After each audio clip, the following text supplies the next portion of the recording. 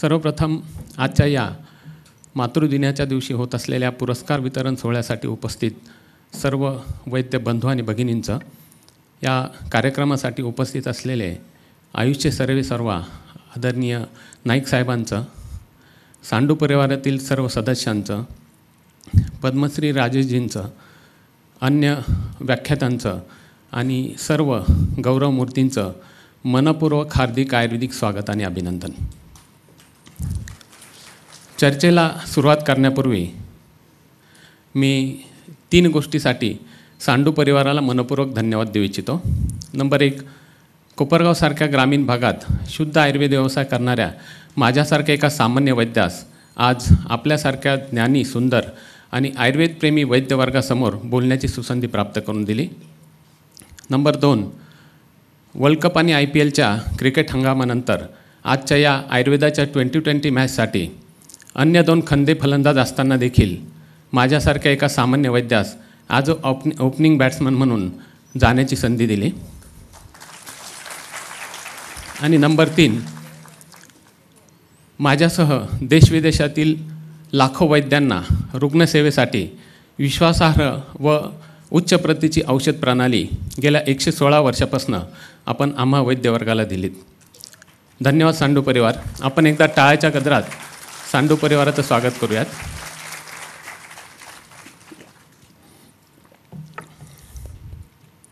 दृष्टी तसे सृष्टी असते असं म्हणतात. या ठिकाणी सांडू परिवाराची दृष्टी आयुर्वेदाप्रती वैद्यांप्रती आणि समाजाप्रती ही निश्चितच चांगली आहे म्हणून अशा प्रकारचे स्तुत्य कार्यक्रम सांडू परिवार या ठिकाणी घेत आहे. सचिन हा राशीन येथील एक अठ्ठावीस वर्षीय शेतकरी कुटुंबातील एकविसव्या शतकातील एक सुशिक्षित शेतकरी. गेल्या अडीच महिन्यापासून तो तीव्र कंबरदुखीने कटिशुलानं ग्रस्त होता. त्यासाठी नगर पुणे येथे तज्ज्ञ वैद्यांना दाखवून तज्ज्ञ डॉक्टरांना दाखवून सर्व प्रकारची तपासणी आणि उपचार केले गेले. एम आर आय स्कॅनमध्ये त्याच्या यल फोर आणि यल फाईव्हमध्ये सिव्हिअर डिस्क डिज डिस्क जनरेशन त्यामुळे पोस्टिरे डिस्क प्रोट्रुजन आणि त्यामुळे लेफ्ट रूट न रूट कॉम्प्रेशन त्याला होतं. डॉक्टरांनी सर्जरीचा सल्ला दिलेला परंतु त्यात मतमतांतरे आल्याने शेवटी आयुर्वेदाबद्दल कळल्यानं तो आयुर्वेदाकडे आला. एक धष्टपुष्ट शेतकरी वेदनेने मात्र हवालदिल झालेला होता. तो वेदनेने ओरडत असे. त्याला कुठल्याही पोझिशनमध्ये स्वस्त वाटत नसे. झोपून किंवा बसून देखील त्याला स्वस्थता नसे. फक्त डाव्या किंवा उजव्या कुशीवर झोपून दोन्ही पाय पोटाजवळ घेतलेल्या अवस्थेमध्येच त्याला बरं वाटत असे. थोडक्यात ट्रॅक्टरच्या आधुनिक शेतीचा मिळालेला त्याला तो प्रसाद होता. परंतु पंचकर्मानं असे रुग्ण पाच दिवस रुग्णालयात ॲडमिट राहिल्यानंतर पाच दिवसाच्या पंचकर्म चिकित्सेने सत्तर ते ऐंशी टक्के बरे होतात हे आठशेच्या वर पेशंटमध्ये अनुभवलेले असल्यानं तू नक्की बरा होशील अशी खात्री देत त्याला रुग्णालयात ॲडमिट केलं. दुसऱ्याच दिवशी तो त्याचे दोन्ही पाय सरळ करून झोपू शकत होता. तर पाचव्या दिवशी कोपरगावच्या खड्डेयुक्त रस्त्यावरनं दोन किलोमीटर फिरून आल्यानंतर देखील तो वेदनामुक्त होता. डिस्चार्ज देताना डाव्या पायामध्ये फक्त थोडीशी चमक निघते एवढीच काय त्याची तक्रार होती? तो असं म्हणाला आणि लगेच त्याच्याबरोबर असलेले त्याचे वडील म्हणाले की आयुर्वेदिक औषधे आहेत हळूहळू गुण येईल. त्या ऐकता क्षणी मी त्यांच्याकडे बघितलं म्हटलं काका गेल्या अडीच महिन्यांपासून तुमचा मुलगा वेदनेने बैलासारखा ओरडत होता. अडीच महिन्यापासून गेल्या वेदनाशामक औषधाने देखील त्याला फरक पडत नव्हता आणि आयुर्वेदाच्या पाच दिवसानं त्याला फरक पडलेला असताना देखील आयुर्वेद अजून हळूच का गेल्या अडीच महिन्याची आधुनिक चिकित्सा देखील परिणामकारक नव्हती. तेथे आयुर्वेदाची पाच दिवसाची चिकित्सा इतकी परिणामकारक असताना देखील तुम्ही आयुर्वेदाला हळूच म्हणता. मित्र असाच अनुभव तुम्हाला देखील प्रॅक्टिसमध्ये बराचदा आला असेल. कित्येकदा रुग्ण सांगतात की डॉक्टर तुमच्या आयुर्वेदामध्ये यावर काय आहे का? मला मनस्वी राग येतो. मी लगेच सांगतो की तुमच्या माझ्या स्वदेशी आयुर्वेदामध्ये काय नाही. प्रत्येक गोष्टीचं आयुर्वेदामध्ये उत्तर आहे. कारण आयुर्वेद हे एक परिपूर्ण शास्त्र आहे. आमचे गुरुवर नाना तर नेहमी सांगतात की आयुर्वेद हे परिपूर्ण शास्त्र असल्यानं कुठल्याही संशोधनाची आयुर्वेदाला गरज नाही. आज आधुनिक शास्त्रामध्ये रोज नवीन नवीन संशोधन होत असतात आणि पूर्वीचे संशोधन ही कालबाह्य देखील लगेच होत असतात. उदाहरण देखील द्यायचं झालं तर बेगॉन स्प्रे पुरी मारल्यानंतर डास ढेकून तात्काळ मारताना आपण बघत होतो. परंतु हल्ली जर बेगॉन स्प्रे मारला तर तो डास तो स्प्रे एन्जॉय करून उडताना दिसतो. का तर त्या बेगॉन स्प्रेविषयीचा रेजिस्टन्स त्या डासाच्या शरीरामध्ये झाला आहे आणि आधुनिक शास्त्रामध्ये देखील अँटीबायोटिकच्या बाबतीत मानवी शरीरामध्ये असंच झालं आहे आज तीन तीन प्रकारचे अँटीबायोटिक्स कॉम्बिनेशनमध्ये वापरून देखील रुग्णांना फरक नसल्याचे पेशंट आम्ही प्रॅक्टिसमध्ये बघतो. तशी परिस्थिती सुदैवानं आयुर्वेदाच्या बाबतीत अजूनही झालेली नाही. म्हणून आज आयुर्वेद जगभर वेगाने प्रचार पा प्रचार आणि प्रसार पावत असलेला आपण बघतो. मला वाटतं आयुर्वेद के अच्छे दिन आने का यही एक संकेत आहे आज या ठिकाणी माझे दोन अत्य अन्य व्याख्याते आयुर्वेदाबद्दलची शास्त्रोक्त माहिती या ठिकाणी देतील। मी कुठलीही शास्त्रीय माहिती संप्राप्ती कार्यकरण भाव सांगणार नाही। फक्त आयुर्वेदाने हे होतं आयुर्वेद हे करू शकतो एवढंच या ठिकाणी मी सांगणार आहे। सद्यकालीन जे काही व्याधी आहेत की ज्यामध्ये अन्य चिकित्सा पद्धती अपयशी ठरतात असे व्याधी आयुर्वेदानं अल्पकाळामध्ये दीर्घकाळपर्यंत ट्रीट केले जाऊ शकतात. मग ते व्याधी कुठलेही असोत. आयुर्वेद कुठल्याही प्रकारचे केस ट्रीट करू शकतो. मग ती गायनेकची असो ऑर्थोपेडिकची असो पेडॅट्रीची असो सायकॅट्रिस्टची असो किंवा ऑप्टॅनची असो. इवन दो फ्युचरमध्ये आयुर्वेदाचे स्पेशालिस्ट वैद्य तयार झालेले तुम्हाला दिसतील. मला फक्त विश्वासच नाही पण खात्री आहे की माझे हे आयुर्वेद स्पेशालिस्ट मित्र लवकरच तुम्हाला जगवार किंवा फेरारी गाडीमधून देखील फिरताना दिसतील.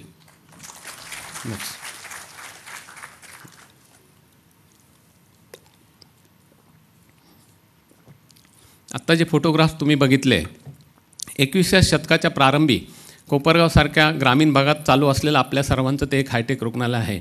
मी साईंच्या चरणी प्रार्थना करतो की यापेक्षा अधिक चांगले रुग्णालय सर्व भारतभर होत. आयुर्वेद सर्व प्रकारचे केसेस हँडल करतो. आज त्वचारोगामध्ये जगभर संशोधन चालू आहेत. अल्पकाळामध्ये दीर्घकाळपर्यंत उपशय देणारी चिकित्सा पद्धती अन्य शास्त्रामध्ये उपस उपलब्ध नाही. ऑटोइम्युन स्किन डिसीजसारखे डिसीज तर जीवनभर किंवा जिंदगीभर स्टेरॉइड्स घेऊन कसे तरी कंट्रोल करावे लागतात.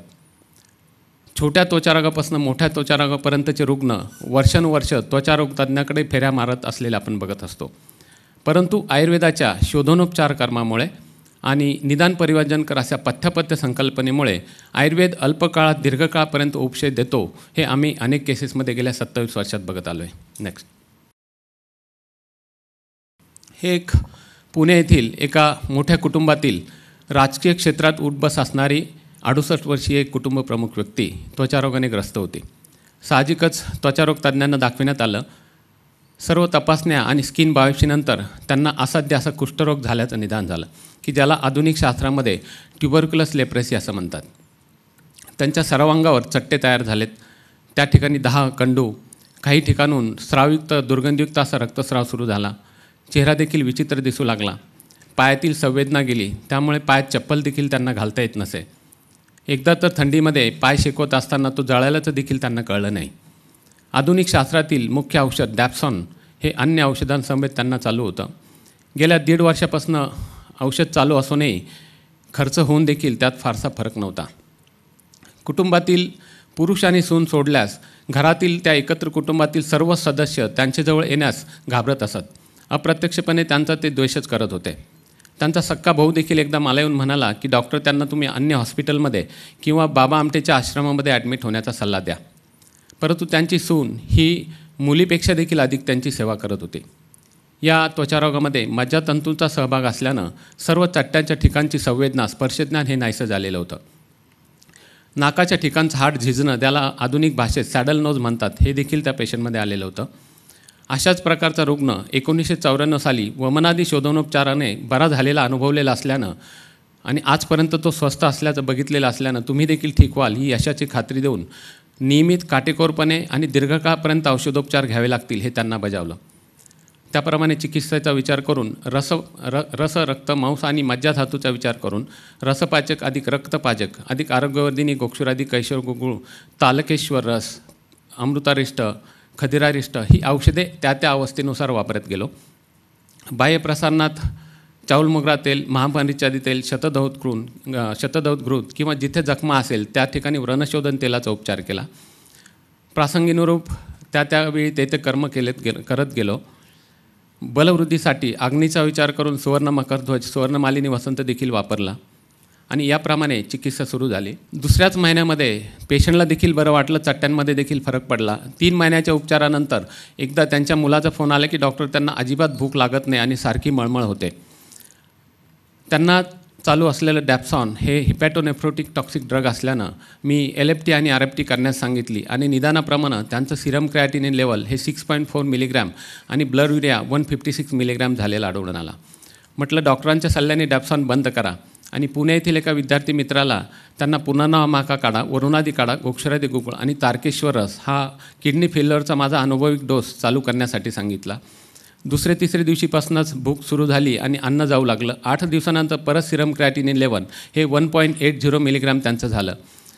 परत त्यांचा चुलत भाऊ एक डॉक्टर असल्याने त्याने पुन्हा डॅप्सन चालू करण्याचा सल्ला दिला. पुन्हा मळमळ चालू झाली आणि नंतर डॉक्टरांचा सल्ला न घेता ती डॅप्सॉन कायमस्वरूपी बंद केली. रोज सकाळी खदीर त्रिफळा मंजिष्ठा विडंग दारू हरिदर सिद्ध काढ्यानं सर्व व्रणांचं धावन केलं जायचं. त्या ठिकाणी धोपण केलं जायचं. त्यानंतर चट्ट्यांच्या ठिकाणी निमपत्र पोटली स्वेदन केलं जायचं आणि जखमांच्या ठिकाणी शतधृत किंवा प्रणशोधन तेल आणि आंघोळीनंतर अविडम लोशन जी निमपत्राची बनवलेली आहे हे सर्व केलं जायचं. ही सर्व सेवा कुठलीही किळस न येता त्यांची सून हे रोज दीड ते दोन तास करत असे. या केसचं यशाचं श्रेय मी त्या सुनेलाच देतो. या केसमध्ये अवस्थेनुसार रक्तमोक्षण तक्रधारा विरेचन हे कर्मदेखील केलं गेलं. या केसमधील सर्व स्राव व्रण लक्षणं आणि त्या ठिकाणचं दहा तोद लक्षणं हे सर्व कमी झालीत. आज या केसला जवळजवळ एक वर्ष झालं आहे त्यांची त्वचा ही सामान्य माणसाप्रमाणे अतिशय प्राकृत आहे. पायातील संवेदना आली. चालताना चप्पल घालून चालता येतं. सर्व चट्ट्यांच्या ठिकाणचं स्पर्शज्ञान पुन्हा आलं. आता सध्या फक्त बलवृद्धिकर म्हणून आणि प्रतिकारशक्ती वाढण्यासाठी त्यांना औषधोपचार चालू आहे. थोडक्यात आयुर्वेदानं असाध्य असा कुष्ठरोग बरा होतो हेच यातनं शास्त्रीय दुसऱ्या सिद्ध झालं. आधुनिक औषधाला दाद न देणारा आधुनिक औषधाला प्रतिसाद न देणारा असाध्य कुष्ठरोग आयुर्वेदानं इतक्या अल्प काळामध्ये बरा करून दाखविला तरी देखील आम्ही म्हणतो की आयुर्वेदानं हळूहळू गुण येतो. नेक्स्ट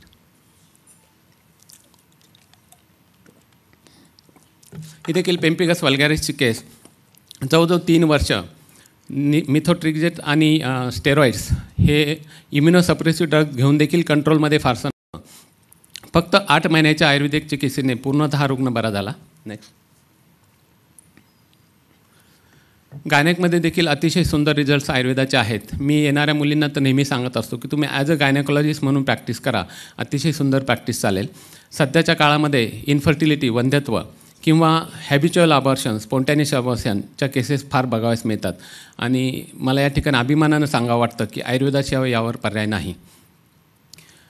बऱ्याचशा स्त्रियांची लाईफस्टाईल आपण बघितली त्यांचा आहारविहार बघितला आणि त्यांची मानसिक टेन्शनचा जर विचार केला तर पित्त प्रकृतीच्या महिलांमध्ये पित्त प्रकोप होऊन रक्तदृष्टी होते आणि त्यामुळे गर्भपात घडण्याची क्रिया घडत असते. अशा स्त्रियांमध्ये जर आपण पूर्व इतिहास बघितला तर बहुतांशी स्त्रियांमध्ये गोवर आणि कांद्याचा इतिहास आढळतो. पांचभौतिक सिद्धांतानुसार हीच उष्णता शरीरामध्ये राहिल्यानं गर्भपात घडवून आणत असते. आधुनिक शास्त्रानुसार या केसमध्ये अशा केसेसमध्ये टॉस टेस्ट केली जाते. त्यामध्ये C M V R herpes आणि रुबेला हे फॅक्टर पॉझि पॉझिटिव्ह येतात. आधुनिक शास्त्रामध्ये यावर उपचार नसल्यानं टॉचनील टॉक्सोनील सारखीच औषधी आधुनिक डॉक्टर देखील देऊन देताना दिसतात. रोहमायसिनसारखा अँटीबायोटिक याच इन्फेक्शनमध्ये नऊ नऊ महिने घेतल्यानंतर देखील पुन्हा पुन्हा गर्भपात होत असलेल्या अनेक केसेस मी मी माझ्या प्रॅक्टिसमध्ये बघितल्यात. परंतु अशा केसेसमध्ये आयुर्वेदानं शंभर टक्के उपशय देता येतो हे देखील चारशेच्या वर केसेसमध्ये अनुभवलं आहे नेक्स्ट ही एक येवला आंदरसूलजवळील एक बत्तीस वर्षीय शिक्षक दाम्पत्य चिकित्सेसाठी आयुर्वेदाकडं आलं. सुरुवातीलाच त्यांनी आम्ही खूप आशा घेऊन आयुर्वेदाकडं आलो असं ते म्हणालेत. इतिहासामध्ये त्यांना आठ वर्षाची एक मुलगी होती की जी जन्मता मूकबधीर अशी होती. आणि त्यानंतर सहा वेळा तब्बल सहा वेळा तिला गर्भधारणा झाली आणि सहा वेळा सर्व प्रकारची औषधोपचार पथ्यापथ्य आणि विश्रांती घेऊन देखील सही वेळा तिचा गर्भपात झाला. पुणे औरंगाबाद धुळे येथील डॉक्टरांच्या सल्ल्यानं देखील त्यात यश मिळालं नाही. कोणीतरी सांगितलं म्हणून नारायण नागबली आणि पुत्रविधी शांतीसारखे दे शांतीसारखे विधी देखील तिने केले. सध्या तर ती नवीनच समस्या सांगत होती. त्यामध्ये गेल्या दोन वर्षापासून तिला प्रेग्नन्सी देखील राहत नव्हती. थोडक्यात सेकंडरी इन्फर्टिलिटी तिला होती. या केसमध्ये ट्रीटमेंटच्या तीन स्टेजेस होत्या. स्टेज नंबर एक गर्भधारणा होत नसल्यानं नसल्यामुळे गर्भधारणा होण्यासाठी यशोदोपचार करणे. नंबर दोन गर्भ टिकत नसल्यानं तो टिकण्यासाठी आणि शेवटपर्यंत राहण्यासाठी औषधोपचार करणे.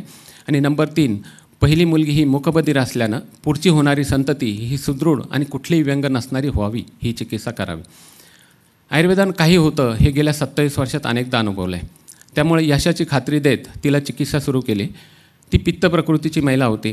त्यात ती आलेला तो काळ देखील शरद ऋतू म्हणजे सप्टेंबर महिना होता. तिला आम्लपित्ताचा त्रास होता आणि त्यात सहा वेळा मानसिक आघात तिने मोठे पचवलेले होते. त्यामुळे आम्लपित्त शिरस्चूल नैराश्य निद्रानाश ही लक्षणे देखील तिला होती. लहानपणी आणि तरुणपणी कॉलेजमध्ये असताना देखील तिला गोवर आणि कान्या झाल्याचं तिने सांगितलं.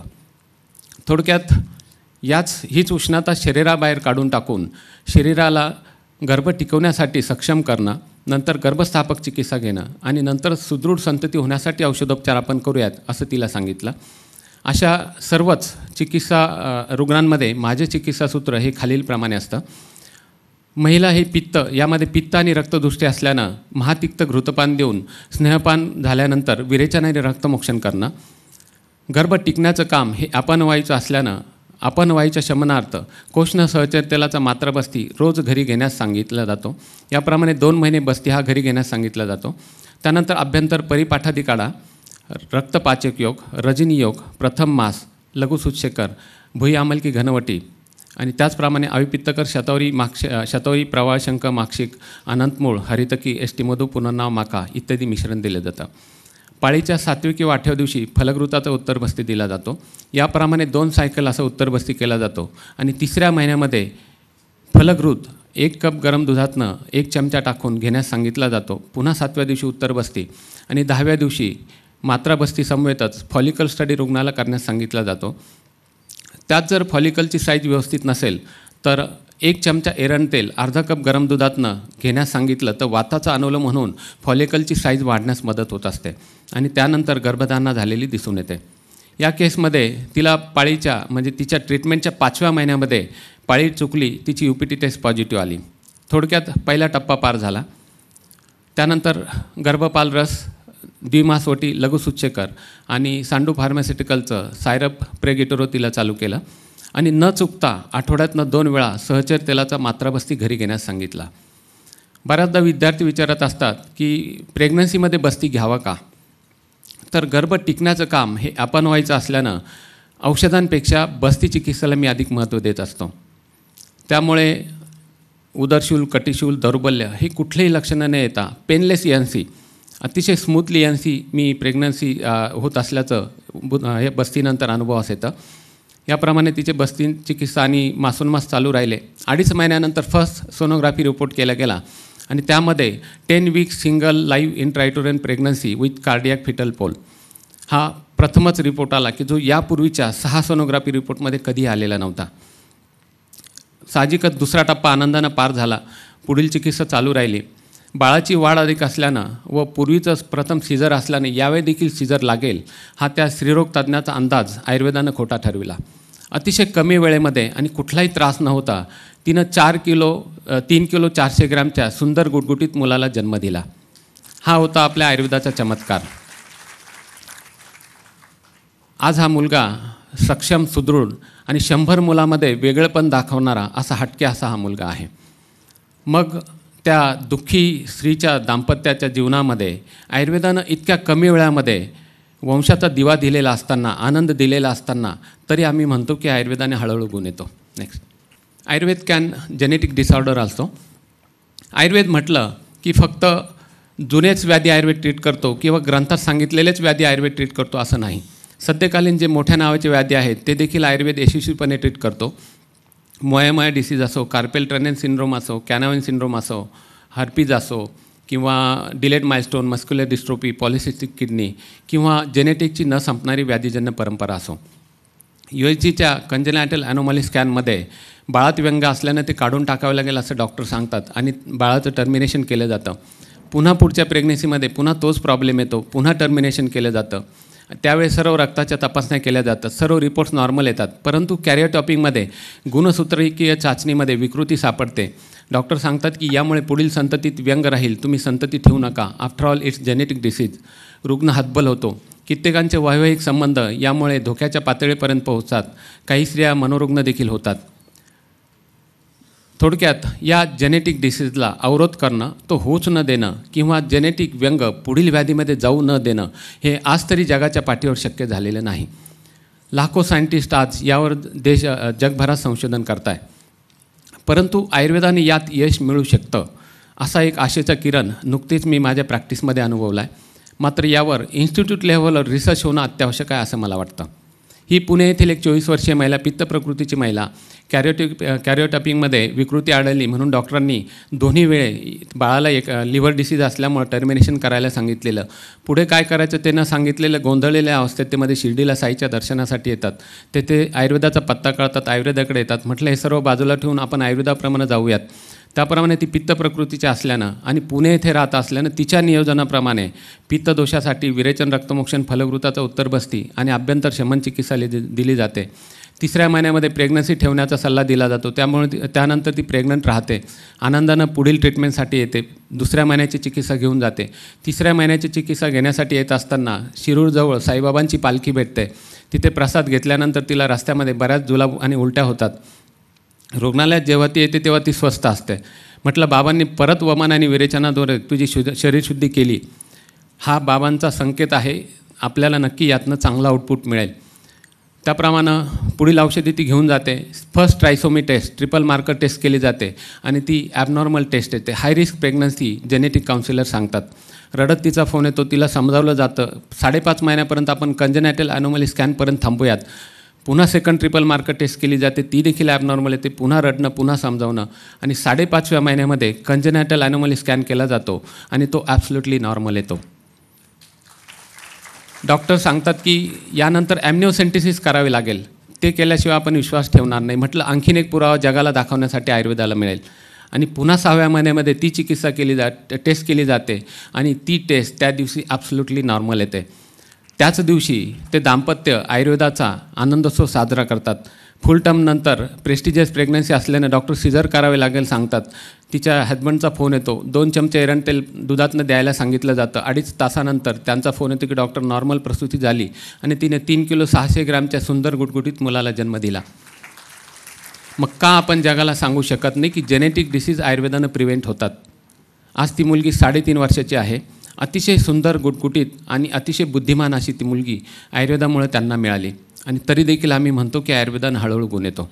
नेक्स्ट मेल इन्फर्टिलिटीमध्ये जर वंध्यत्वाचं कारण जर पुरुष असेल आणि तर त्यावेळी त्या पुरुषाचं दुःख त्याचं नैराश्य आणि त्याची अपराधीपणाची भावना ही शब्दात व्यक्त करणं कठीण आहे. शुक्राणूची संख्या झिरो असणं ज्याला आजोस्पर्मिया म्हणतात शुक्राणूची संख्या कमी असणं ज्याला ऑलिगोस्पर्मिया म्हणतात किंवा शुक्राणूंची हालचाल कमी असणं ज्याला ॲस्टोनोस्पर्मिया म्हणतात किंवा विर्याचा घट्टपणा असणं हाय विस्कॉसिटी अशा केसेसमध्ये आयुर्वेद शंभर टक्के गुणकारी ठरतो. हा देखील आम्ही अनेक केसेसमध्ये बघितलं आहे आणि अशा दुःखी दाम्पत्याच्या जीवनामध्ये वंशाचा दिवा लावण्याचं कार्य आयुर्वेदामुळे होत असल्याचं अनुभवलं आहे. नेक्स्ट हा एक सन एप्रिल दोन हजार चारची केस. कोपरगाव जवळच्या एका छोट्या गावातील एक गृहस्थ हातात फाईल घेऊन रडवेल्या चेहऱ्यानं फक्त चौकशी करण्यासाठी म्हणून क्लिनिकमध्ये आले. त्यांनी अगोदरच सांगितले की डॉक्टर फार आशा घेऊन मी तुमच्याकडे आलो आहे रिपोर्ट्समध्ये सर्व रिपोर्ट्स त्यांच्या मुलाचे होते आणि त्या रिपोर्ट्समध्ये सिमेन ॲनालिसिस हे टू मिलियन्सपेक्षा कमी होतं. पुन्हा मुंबई या ठिकाणी ऐपत नसताना देखील गेल्या वर्षापासून ट्रीटमेंट चालू होती परंतु त्यात यश यत्किंचितही फरक नव्हता. त्या दिवसाच्या फ्रेश पॅथॉलॉजी रिपोर्टनंतर रिपोर्टमध्ये कुठलाही बल बदल नसल्यानं व त्या पॅथॉलॉजिस्टनं तुला मुलगा होणार नाही तू दत्तक मुलगा घे असं सांगितल्यानं तो नैराश्यावस्थेत गेला. खरं तर असा सल्ला देण्याचा त्या पॅथॉलॉजिस्टला काही एक अधिकार नव्हता. परंतु त्याच्या त्या फुकटच्या सल्ल्यानं तो नैराश्यावस्थेमध्ये गेला आणि घरी जाऊन आत्महत्या करताना त्या वृद्ध पित्याला सापडला म्हणून वाचला. त्याच दिवशी ते आयुर्वेदाकडे आले त्यांना विश्वासानं परत त्या मुलाला घेऊन बोलावलं.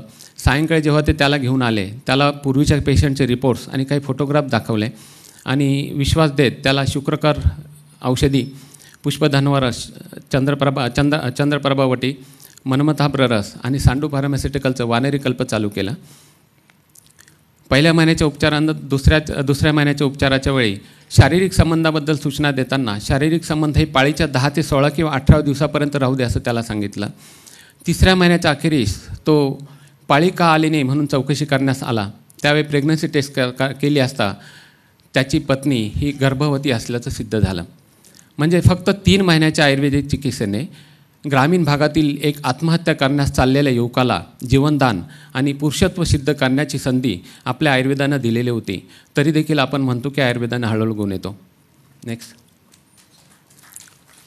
शुक्राणूंची संख्या झिरो जर असेल यावर कुठेही कुठल्याही शास्त्रामध्ये उपचार नाहीत. परंतु आयुर्वेदानं गॅरंटेड यावर रिझल्ट मिळतात अशा तीस पर्सेंट पेशंटचे रिपोर्ट्स आमच्याकडे आहेत. हा जळगाव येथील एक एकोणतीस वर्षीय अतिशय सुंदर युवक की ज्याच्या लग्नाला देखील सहा वर्ष झालेले होते. त्याने रिपोर्ट दाखवण्यापूर्वीच अतिशय केविलवाने चेहऱ्याने डॉक्टर मला यात काही होईल का? असं सांगा असं सांगितलं. रिपोर्ट्समध्ये शुक्राणूची संख्या ही झिरो होती. थोडक्यात तो अजूस्पर्मिक होता. त्याने अगोदरच सांगितले की डॉक्टर माझी आर्थिक ऐपत नाही. तेव्हा त्याला सांगितले की आपण चंदनबला सहचर शतावरी अश्वगंध सिद्ध तेलाचा उत्तर बस्ती महिन्यातनं एकदा कोपरगावच्या हॉस्पिटलला करत जाऊ. आणि उर्वरित सर्व शमन किस्सा तुला साईनाथ हॉस्पिटलमधनं मी मोफत देत जाईल देत जाईल. त्या ठिकाणावरनं त्याला शुक्रवृद्धीकर औषधं पुष्पधन्वा मन्मताब्र शुक्र मातृकावटी वानेरिकल्प हे सर्व औषधे चालू केली. आणि रोज रात्री घरी नित्यनेमानं बस्तान बस्ती घेण्यासाठी सांगितला. बस्तान बस्तीसाठी आम्ही एक कप दूध एक कप पाणी एक चमचा कवचबी तिक्त क्षीराचं मिश्रण मंद गॅस उकळून फक्त दूध शिल्लक ठेवणं कोमट झाल्यानंतर गाळून त्यामध्ये दोन चमचे सिद्ध बस्तांड घृत टाकून त्याचा बस्ती रुग्णांना घरी घेण्यास सांगत असतो. याप्रमाणे चिकित्सा चालू झाली आणि तिसऱ्या महिन्याच्या रिपोर्टनंतर मार्चमध्ये त्याचा रिपोर्ट केला. त्यामध्ये सिरम सिमेंट काउंट हा फिफ्टीन मिलियन्स त्याचा आला. खरोखर तो दिवस मलाही आनंदाचा होता आयुर्वेदालाही आनंदाचा होता. आणि त्यानंतर हा आयुर्वेदाचा चमत्कार साईंचा चमत्कार असल्याची प्रतिक्रिया दिली. त्यानंतर तो फक्त दोन महिने शिर्डीला ट्रीटमेंटसाठी आला आणि त्यानंतर तो चिकित्सेसाठी आला नाही. साधारण ऑगस्ट महिन्यामध्ये त्याचा मला फोन आला की सर मिसेसला तिसरा महिना चालू आहे तर आयुर्वेदिक औषधासाठी आणू का? मी म्हणजे काय म्हणत विचारत सर्व चौकशी केली असता. बसला भाड्याला पैसे नसल्याकारणानं मी नंतर आलो नाही परंतु जूनमध्ये पिरियड न आल्यानं तपासणी केली असता टेस्ट पॉझिटिव्ह आल्याचं त्याने सांगितलं. थोडक्यात सहा महिन्याच्या आयुर्वेदिक चिकित्सेनं नैसर्गिकप्रमाणे झिरो शुक्राणू वाढून त्याला तो पिता बनणार होता. आयुर्वेदाच्या दृष्टीने ही केस निश्चितच अभिमानास्पद गौरवास्पद आहे. आणि इतका फास्ट रिझल्ट असताना देखील आम्ही म्हणतो की आयुर्वेदानं हळूहळू गुण येतो. नेक्स्ट या ठिकाणी त्या पेशंटचा नोव्हेंबरचा रिपोर्ट झिरो काउंट आहे. मधल्या रिपोर्टमध्ये मार्चचा रिपोर्ट हा फिफ्टीन मिलियन्स काउंट आहे. आणि यानंतर इकडं प्रेग्नन्सी टेस्ट त्याच्या मिसेसची टेस्ट ही पॉझिटिव्ह रिपोर्ट असलेला. नेक्स्ट हा देखील एक स्पष्ट दिसत नाही. एक खान म्हणून पेशंट बॉम्बेचाच होता. झिरो काउंट दोनच महिन्यानंतर काउंट हा त्याचा थर्टी सिक्स मिलियन झाला आहे आणि परत तिसऱ्यामध्ये काउंट हा फिफ्टी सिक्स मिलियन झाला आहे नेक्स्ट यामध्ये देखील काउंट वाढलेला दिसेल. नेक्स्ट नेक्स्ट हे सर्व अजोस्पर्मियाचे पेशंटचे रिपोर्ट्स आहेत. मी प्रत्येक वेळा आयुर्वेदानं हळूहळू गुण येतो असं म्हणतो आहे कारण नाईक साहेब खरोखर आयुर्वेद इतका स्लो नाही आहे आयुर्वेद आधुनिक शास्त्रापेक्षा प्रत्येक गोष्टीत फास्ट आहे हे आम्ही गेल्या सत्तावीस वर्षात अनुभवतो आहे आणि तरी देखील आयुर्वेदाला कोणी स्लो म्हणत असेल तरी ते खूप वेदना होतात. नेक्स्ट मोयमय डिसीज मी देखील या व्याधीचं नाव प्रथमच ऐकत होतो. नावाप्रमाणेच या व्याधीचे लक्षणे देखील अतिशय कष्टदायक आणि त्रासदायक असे आहेत. एका जर्मन सायंटिस्टने याचा शोध लावला आहे म्हणून त्याच सायंटिस्टचं नाव या व्याधीला दिलं गेलं आहे मेंदूमध्ये विशिष्ट रक्तवाहिनीमध्ये अवरोध तयार होतो ज्याला थ्रोम्बोसिस म्हणतात. आणि त्यामुळं मल्टिपल ठिकाणं रक्तस्राव होऊन ती व्यक्ती कायमस्वरूपी व्यंग देखील राहू शकते. अशा याला इमिजिएट ब्रेन सर्जरी किंवा long term हायपरटेन anti hypertensive sedatives steroids आणि अँटीकॉगॅलन थेरपी घ्यावं लागते. थोडक्यात अतिशय खर्चिक आणि बॅड प्रोग्नेसिस असलेला हा व्याधी आहे. नेक्स्ट बऱ्याचदा प्रॅक्टिसमध्ये अशा मोठ्या मोठ्या नावांचे व्याधी जेव्हा येतात तेव्हा कन्फ्यूज न होता आयुर्वेदानं जर त्याचं निदान केलं आणि श्रद्धेने आयुर्वेदिक चिकित्सा केली तर असे मोठे व्याधी आयुर्वेदान ही एक औरंगाबाद येथील एक एकवीस वर्षीय इंजिनिअरिंगची मुलगी दोन वर्षापूर्वी शिरसशील डोकेदुखी सुरू झाली. सुरुवातीला डोकेदुखी वाटणारी साधी तक्रार नंतर हळूहळू चिंताग्रस्त बनत गेली. मुंबई येथे लीलावती हॉस्पिटलमध्ये सर्व तपासण्या आणि एम आर आय स्कॅननंतर तिला मोया डिसीज झाल्याचं डॉक्टरांनी सांगितलं. इमिजिएट ब्रेन सर्जरीचा सल्ला दिला परंतु खर्चिक अशी ब्रेन सर्जरीला नकार तिच्या वडिलांनी दिला. म्हणून तेव्हापासून आत्तापर्यंत anti hypertensive anti coagulant sedatives तिला चालू होत्या आणि तरी देखील लक्षणांमध्ये फारसा फरक नव्हता.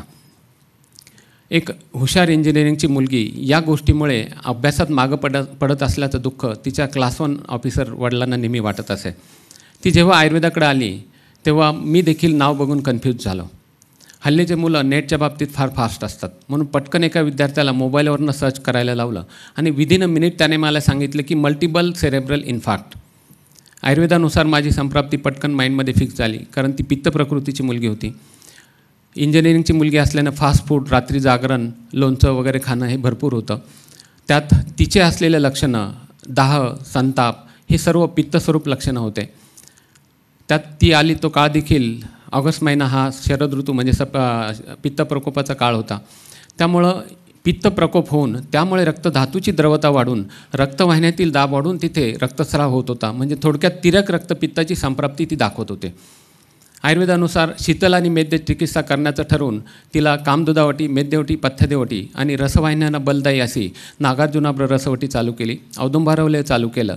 कुम केशर कुमकुम घृतनस्य नाकात टाकण्यासाठी सांगितलं.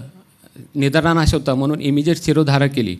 आणि तीव्र शिरोदाह तीव्र संताप आणि तीव्र भ्रम ज्याला व्हर्टायगो म्हणतात हे मुख्य लक्षण असल्यानं गोड खाऊन ज्युग्युलर व्हेनमधनं मान्यागत रक्तमोक्षण तिचं केलं. पंधरा दिवसानंतर जेव्हा आली तेव्हा तिच्या आईनं आल्याला सांगितलं की डॉक्टर तिची चक्कर दहा पुष्कळ कमी झालं आहे ती शांत झाल्यामुळे आमचं घर देखील आता शांत आहे असं हसत तिने सांगितलं. त्यानंतर जवळजवळ चार महिने हीच चिकित्सा पुढे चालू राहिली. दरम्यान दोन वेळा पुन्हा रक्तमोक्षण एकदा विरेचन तिचं केलं गेलं. आज त्या मुलीला पाच वर्ष झालेत. आजही ती मुलगी त्यानंतर बी तिने कंप्लीट केलं यमी कंप्लीट केलं आणि लग्न होऊन आज पुणे येथे एका मोठ्या कंपनीत ती मोठ्या पदावर काम कार्यरत आहे. दोनच महिन्यापूर्वी तिचे वडील तिच्याच सासूला चिकित्सेसाठी म्हणून जेव्हा क्लिनिकमध्ये घेऊन आले तेव्हा पल्लवी कशी आहे म्हणून विचारलं तर त्या वडिलांनी एक वेगळंच गुपित उपस्थित विद्यार्थ्यांसमोर व्यक्त केला. त्यांनी सांगितलं की एकुलता एक मुलीला जेव्हा असा मोठा अननोन डिसीज होतो तेव्हा त्या पित्यावर काय गुजरते हे मी अनुभवलं आहे डोळ्यात पाणी आणून त्या ग्रस्ताने सांगितलं आहे की त्यावेळे मी जपान आणि अमेरिका येथे एका सायंटिस्टची डॉक्टरांशी कन्सल्ट नेटवरनं केलेला. आणि मला सर्जरीचा पन्नास लाख रुपये खर्च त्यांनी त्यावेळी सांगितलेला. मी ती देखील कुवत नसताना जमाजमा केलेली. परंतु माझ्या सुदैवानं आयुर्वेदाबद्दल कळलं. मी आयुर्वेदाकडे आलो आणि आज माझी मुलगी पूर्णतः स्वस्थ आहे. मग मोयामयासारखा डिसीज आयुर्वेदानं इतक्या अल्प काळात बरा होतो हे आपण जगाला का ओढून सांगू नये? नेक्स्ट ही कोपरगावचीच एक एकोणपन्नास वर्षे पित्त प्रकृतीची महिला. तिचे मिस्टर दोन्ही हातांनी धरून तिला क्लिनिकमध्ये घेऊन आलेले.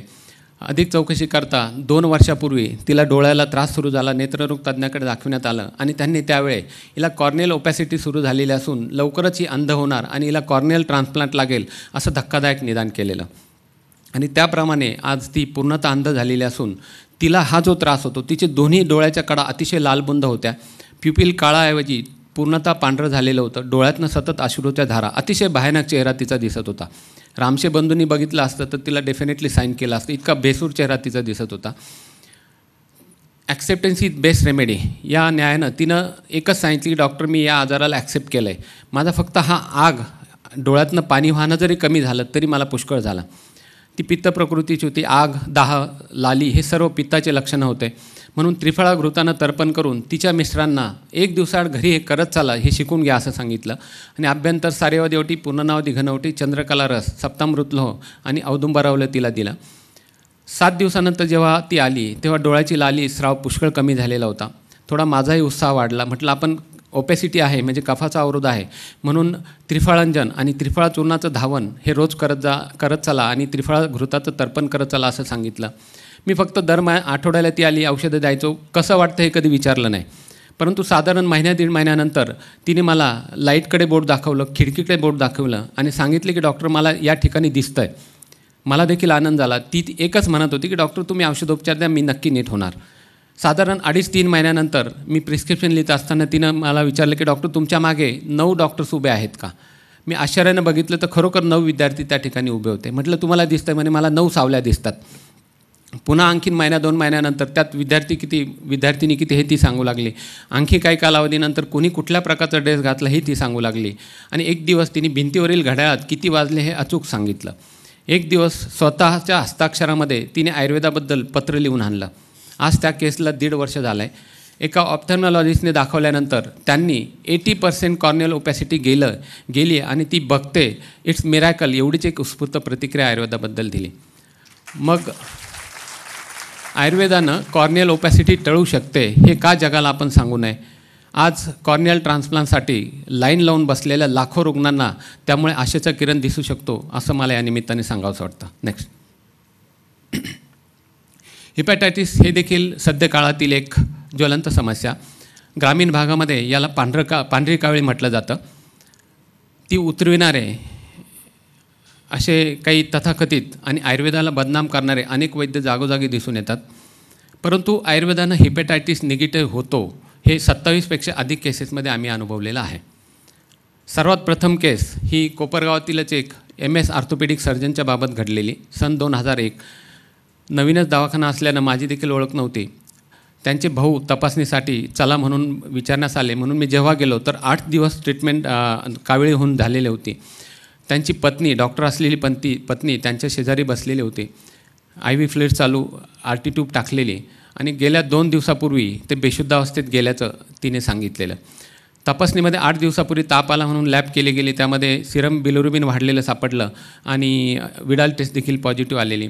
आज fresh bilirubin fourteen point five milligram असून आम्ही उद्या रुबी हॉस्पिटलला पुन्हा येथे हलविण्याचा निर्णय घेतला असे ती म्हणाले. डॉक्टरांनी सहा महिन्यापूर्वी सायन हॉस्पिटलला असताना हिपॅटायटिसचे व्हॅक्सिनेशन केलेलं असताना देखील यांना परत हिपॅटायटिस होऊ शकतो का? हा एक मॉडर्न डॉक्टर एक मॉडर्नची डॉक्टरीन एका सामान्य आयुर्वेदाचार्याला विचारत होते. मी हसण्याशिवाय फारशी प्रतिक्रिया दिली नाही. म्हटलं एक दिवस आयुर्वेदाला द्या. दोन इच्छाभेदीच्या गोळ्या सलायना आणि डिस्टिल वॉटरमध्ये क्रश करून सिरिनने आर्टिट्यूबद्वारे पास केल्या आणि त्यांना याने जुलाब होतील. आय व्ही फ्लुईड चालू असल्याने हायड्रेशन देखील मेंटेन होईल. फक्त तिकडे लक्ष ठेवा असं सांगून मी घरी आलो. सकाळी नऊ वाजता त्या डॉक्टर पत्नीचा फोन आला की त्यांना पहाटे तीन वाजेपासून जुलाब सुरू झालेत. किती होतात आणि किती प्रमाणात होतात हे डायपर असल्यानं सांगू शकत नाही. परंतु याने त्रास तर होणार नाही ना अशी ती भीती तिने व्यक्त केली. तिला धीर देत आपण अभ्यंतर औषधोपचार चालू करूयात. म्हणून फलत्रिकादी कशाय फलत्रिकादी वटी भुई आमलकी घनवटी पुनर्नाव माका काढा आणि सांडू फार्मास्युटिकलची सायरप जॉन्डेक्स त्यांना चालू केला. साधारण तीनच्या दरम्यान तिचा परत फोन आला की डॉक्टर ते चुळबुळ करतायत. म्हटलं हे चांगलं लक्षण आहे. आणि साडेपाचच्या दरम्यान आनंदानं तिचा फोन आला की डॉक्टर ते शुद्धीवर आलेत. त्याच लगेच मी इमिजिएट त्यांना भेटायला गेलो. स्वतःची ओळख त्यांना देत आयुर्वेदाने तुम्ही नक्की व्हाल बरे व्हाल असं सांगितलं. थोडक्यात आयुर्वेदाची विरेचन चिकित्सा इतकी सध्या फलदायी असू शकते हे त्यातनं सिद्ध झालेलं होतं. नेक्स्ट विडाल टेस्ट पॉझिटिव्ह असल्यानं आणि अजूनही थोडा थोडा ताप येत असल्यानं त्या दिवशी दोन चमचे एरन तेल त्यांना पिण्यासाठी दिलं. दुसऱ्या दिवसापासून ताप देखील कमी झाला. हीच औषधं थोड्या बहुत थोड्या कमी अधिक फरकानं चालू राहिली. दर दोन तीन दिवसाला सौम्य विरेचन दिलं गेलं. बाराव्या दिवशी त्यांचा फोन आला की डॉक्टर माझं serum bilirubin one point six zero milligram नाही sorry three point six five milligram झाला आहे म्हटलं काय हरकत नाही. एकवीसव्या दिवशी त्यांचा फोन आला डॉक्टर माझं bilirubin one point six zero milligram झालं आहे आणि एका पेशंटची अर्जंट शस्त्रक्रिया करावायची आहे तर मी करू का? म्हटलं थकवा नसेल तर करा. आणि साधारण एक महिना दहा दिवसानंतर सकाळी सकाळी त्यांचा मला फोन आला की डॉक्टर मुझे पार्टी चाहिए. म्हटलं किस चीज केली आहे म्हणे माझी हिपॅटायटीची टेस्ट ऑस्ट्रेलिया अँटीजनची टेस्ट निगेटिव्ह आली. म्हटलं ही टेस्ट कधी निगेटिव्ह होत नाही हे तुम्ही डॉक्टर लोकच सांगतात. तेव्हा तो रिपोर्ट चुकीचा असेल पुन्हा रिचेक करा. पुन्हा संध्याकाळी फोन आला मी एम डी पॅथकडे केली आणि अब तो पार्टी बनती है रिपोर्ट निगेटिव्ह आला. म्हटलं किसने किसको पार्टी देनी चाहिए? ते लगेच म्हटले की डॉक्टर तुम्हारे लिए तो जान भी हाजीर आहे म्हटलं मला जीव वगैरे नको फक्त आज रात्री सन अँड सन हॉटेलला शिर्डी येथे आय एम एची सी एम ई आहे. त्या ठिकाणी फक्त उभं राहून आयुर्वेदानं माझा हिपॅटायटिसची टेस्ट निगेटिव्ह झाली. मी आयुर्वेदानं हिपॅटायटिस माझा बरा झाला. एवढं फक्त तेथे उभं राहून सांगा माझं नाव नाही घेतलं तरी चालेल. आणि खरोखर त्या डॉक्टरांनी त्या ठिकाणी पाच मिनिट संयोजकाकडे मागून घेतले. आणि आज मी जो काही तुमच्यापुढे उभा आहे तो आयुर्वेदामुळे आहे रामदासमुळे आहे. माझी हिपॅटायटिसची टेस्ट आयुर्वेदामुळे निगेटिव्ह झाली हे टाळ्याच्या गजरामध्ये त्यांनी त्या ठिकाणी सांगितलं. म्हणजे एकविसव्या शतकामध्ये एका आधुनिक वैद्यकीय परिषदेमध्ये प्राचीन आयुर्वेदाचा गौरव होणं हे कुठल्याही आयुर्वेदाचार्याला निश्चितच अभिमानास्पद आहे असं मला वाटतं. नेक्स्ट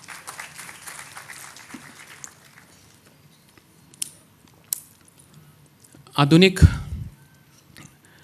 आयुर्वेदिक भस्मांनी किंवा मेटल मेडिसिनमुळे किडनी रिनल टॉक्सिसिटी वाढते असा कुठलाही प्रूफ नसताना आयुर्वेदिक औषधांनी किडनी फेल झाल्याची जगात एकही केस जगाच्या पाठीवर नसताना आयुर्वेदाच्या वाढत्या प्रसारामुळे चिंतातूर बनून आयुर्वेदाला बदनाम करणाऱ्यांसाठी अनेक उत्तर आयुर्वेद देऊ शकतो हे गेल्या दीड वर्षात मी अनेक केसेसमध्ये अनुभवलं. आहे हा पुणे येथील एक एकोणपन्नास वर्षीय एक मध्यमवयीन तरुण गेल्या दोन महिन्यापासून पुणे येथे एका प्रसिद्ध इरोलॉजिस्टकडे चिकित्सा घेत होता. पानशेत धरणावर तो काम करत असे त्याच्या दोन्ही किडनी फेल झालेल्या होत्या. त्यामुळे आठवड्यातनं दोन वेळा डायलिसिस त्याला चालू होतं. Serum creatinine level eight point nine milligram blood urea one ninety six milligram आणि haemoglobin five point six gram त्याचं होतं. त्याला जेव्हा दोन माणसांनी धरून कन्सल्टिंगमध्ये आणलं त्यावेळी त्याच्या गळ्याजवळच्या सिरेजवळ म्हणजे सेंट्रल लाईन त्याला डायलिसिससाठी टाकलेली होती. अतिशय दुर्बल व टॉक्सिक लुक त्याचा होता. हिक्का हृल्लास भूक अजिबात न लागणं मूत्र अतिशय कमी असणं ही तिची लक्षणे होती. किडनी आणि लिव्हरसा लिव्हरचा गर्विश बाहेर काढून टाकणारा क्लेत कमी करणारा पुन्हा नावा माकाचा काढा त्याला चालू केला. वरुणादी काढा दोन दोन चमचे दोन वेळा गोक्षरती दोन दोन गोळ्या दोन वेळा तारकेश्वरस दोन दोन गोळ्या दोन वेळा देऊन पथ्यपथ्यबद्दल स्ट्रिक्ट कम कल्पना दिली. मूग डाळ सोडून कुठलीही डाळ खायची नाही. पालेभाज्या बंद करावायच्या आणि फळामध्ये वांगा आणि गवार सोडून बाकीच्या फळभाज्या भा फळभाज्या खाल्ल्या तरी चालतील. आणि कमीत कमी प पाणी पिण्याचा सल्ला दिला. एकच महिन्यानंतर जेव्हा तो फॉलोअपला आला तेव्हा तो अतिशय फ्रेश होता.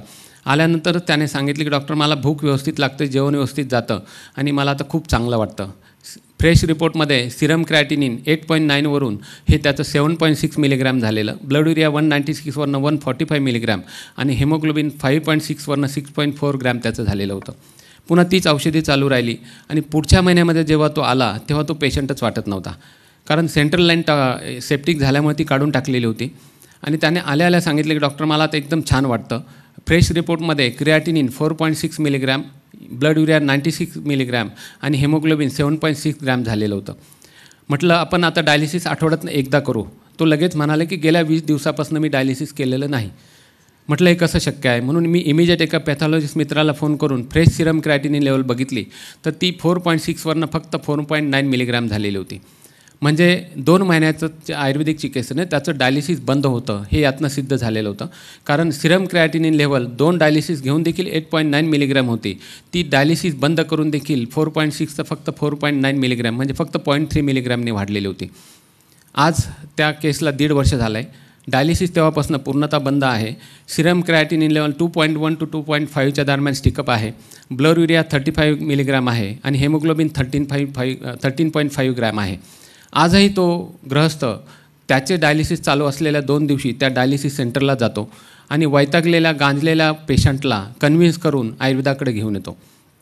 ॲज अ ब्रँड ॲम्बॅसेडरचं काम तो आज त्या ठिकाणी करतो आहे तब्बल पस्तीस रुग्ण त्यांना आयुर्वेदाकडे आणले. आणि पेशंट टू पेशंट माहिती होत. आज ब्याण्णव रुग्ण आयुर्वेदाकडे किडनी फेल्युअरची चिकित्सा घेत आहेत. त्यातले सात रुग्णांचं डायलिसिस बंद झालं आहे कित्येकांचं सिरम क्रायटिनिन लेवल ग्रॅज्युअली कमी होत आहे कित्येकांचं आहे त्या ठिकाणी स्टिकअप होऊन संपूर्ण लक्षणे बंद झालीत. मग आयुर्वेद चिकित्सेनं किडनी कार्यरत होऊन डायलिसिस बंद होऊ शकतं हे आपण जगाला का अभिमानानं सांगू नये? या एकाच केसच्या यशानंतर दिब्रुगड आस दिब्रुगड आसाम कलकत्ता बँगलोर चेन्नई छिंदवाडा नागपूर गडचिरोली चंद्रपूर पुणा नाशिक सोलापूर या ठिकाणाहून किडनीचे पेशंट्स आयुर्वेदाकडे आले आणि आज ते सर्व स्वस्त आहेत.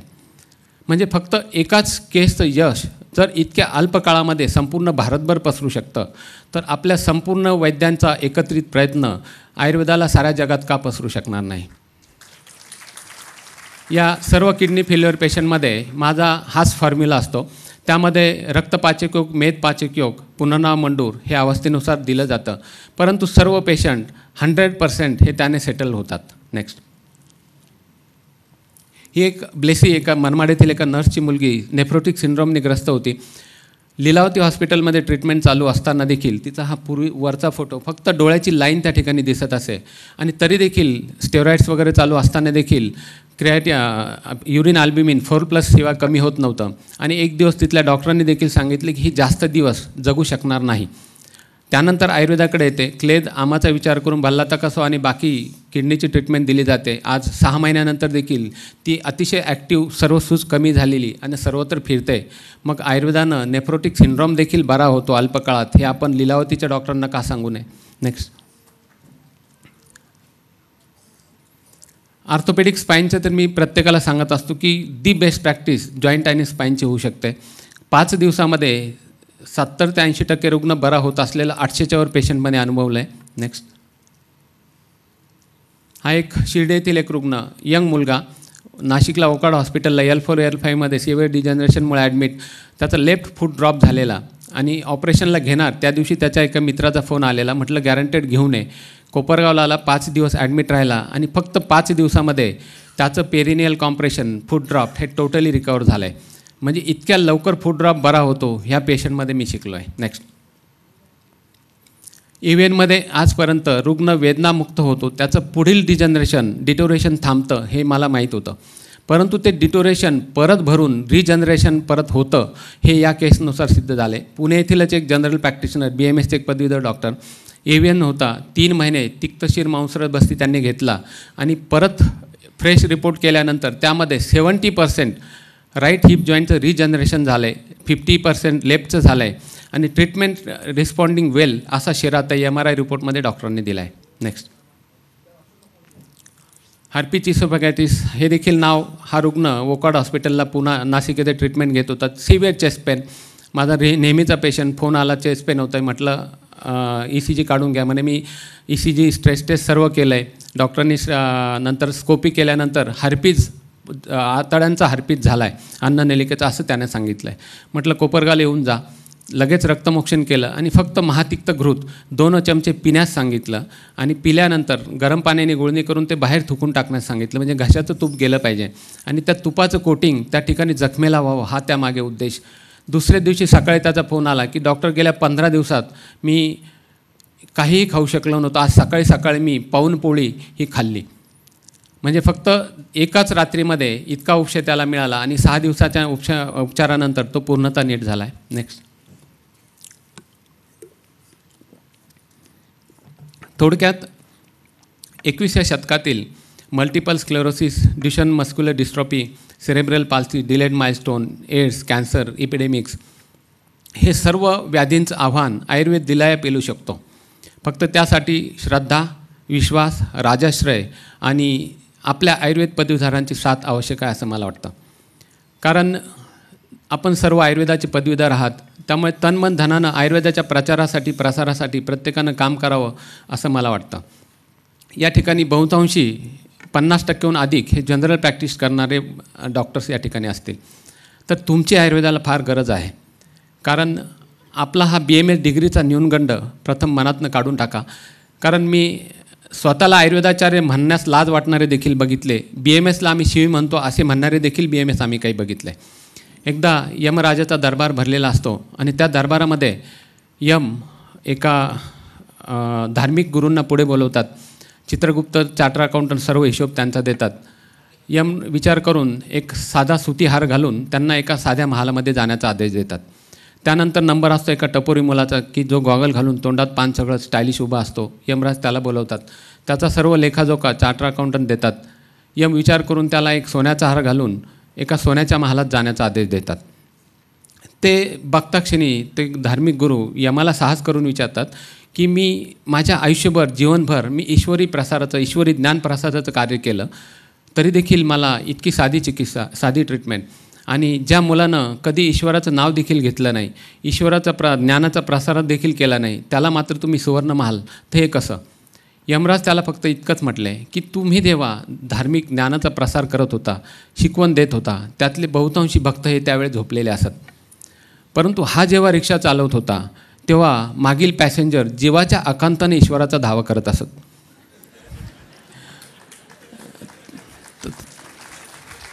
तर थोडक्यात अप्रत्यक्षरित्या ईश्वरी ज्ञानाचा ईश्वरी कार्याचं का काम त्याच्या हातून घडलेलं असतं.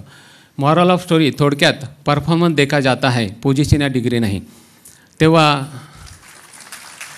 नेक्स्ट आधुनिक डॉक्टर्स हे नाही केलं तर तुम्ही जाल. पटकन ॲडमिट व्हा. असं घाबरून देऊन पैसे कमवत असतात.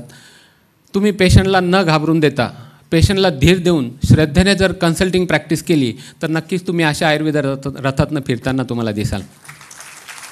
नेक्स्ट आयुर्वेद मॉडर्नपेक्षा फास्ट आहे हे त्याचं ज्वलंत उदाहरण. नेक्स्ट प्रत्येक ठिकाणी मी नेहमी हेच सांगत आलो की प्रत्येक पॅथीने आपापला इगो जर सोडला प्रत्येकाचे चांगले गुण जर ॲक्सेप्ट केले तर भारत जगावर मेडिकल फील्डमध्ये राज्य करू शकेल असं मी छातीटूकपणे सांगतो. नेक्स्ट आयुर्वेद शंभर नंबरी सोना आहे वेळोवेळ वेळोवेळी सिद्ध झालं आहे नेक्स्ट जर तुम्ही कन्सल्टिंग प्रॅक्टिस केली तर असे सेलिब्रिटी तुम्हाला भेटतील. तेरा डिसेंबर दोन हजार तेराला अजय देवगनच्या घरी आयुर्वेदामुळे मी जेवणासाठी निमंत्रित होतो. त्यांची आई माझी पेशंट आहे. नेक्स्ट त्यावेळी काजोल देवी देखील त्यावेळेस उपस्थित होत्या. नेक्स्ट आठ वेळा भारतश्री असलेले एशिया स्त्री असलेले दोन वेळा रनरअप मिस्टर मिस्टर युनिव्हर्स असलेले सुहास खामकर हे देखील आयुर्वेदामुळे माझ्याकडे येऊ शकले. नेक्स्ट शेवटी पुन्हा एकदा सांडू परिवाराला मनपूर्वक धन्यवाद देत मी आयुर्वेदाबद्दल आयुर्वेद पदवीधरांबद्दल फक्त एवढंच म्हणेल की परिंदो को नहीं दी जाती तालीम उडानों की परिंदों को नहीं दी जाती तालीम उड़ानों की वह खुद तय कर लेते मंजिल आसमानों की रखता है हौसला जो आसमान छूने का उसे नहीं होती परवाह गिर जाने की जय हिंद जय महाराष्ट्र जय आयुर्वेद.